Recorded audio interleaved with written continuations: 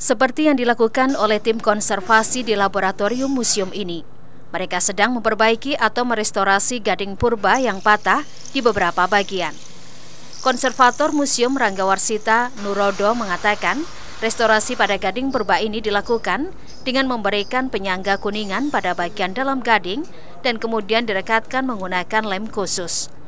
Diperkirakan panjang gading purba ini mencapai 3,8 meter. Tujuannya untuk mengembalikan kondisi benda koleksi yang rusak seperti semula. Total ada lebih dari 58 ribu koleksi pada Museum Ranggawarsita ini, baik koleksi organik, anorganik maupun campuran.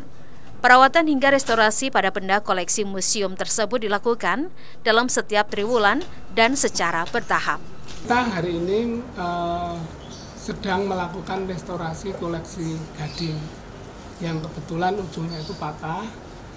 Kita ambil dari laborat terus tadi kita apa namanya kita lakukan restorasi dengan harapan bisa menyambung koleksi yang patah itu menjadi utuh.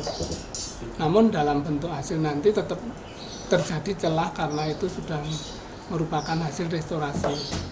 Nah restorasi adalah merupakan bagian dari tugas kami eh, petugas konservasi perawatan koleksi ada treatment atau perlakuan khusus untuk benda koleksi berbahan batu. Setelah benda tiba di museum akan dilakukan pengukuran dan pendokumentasian. Setelah itu dilakukan observasi pada koleksi batu ini. Jika terjadi kerusakan akan dilakukan perbaikan dan restorasi. Tujuannya untuk melindungi benda koleksi dari kerusakan lebih lanjut dan memperpanjang usia benda koleksi museum. Kita uh, menjaga dan melindungi agar koleksi tersebut tidak mengalami kerusakan lebih lanjut. Uh, jadi kita sebisa mungkin berusaha untuk mempertahankan kondisi koleksi yang ada sekarang supaya tidak mengalami kerusakan lebih lanjut. Dan kita juga berharap tentunya dengan treatment-treatment yang kita lakukan, di situ akan memperpanjang usia dari koleksi tersebut. Museum Ranggawarsita merupakan milik pemerintah Provinsi Jawa Tengah yang berada di Jalan Abdurrahman Saleh, Kalibanteng, Kota Semarang. Museum ini biasa dijadikan wisata edukasi karena koleksinya yang cukup banyak.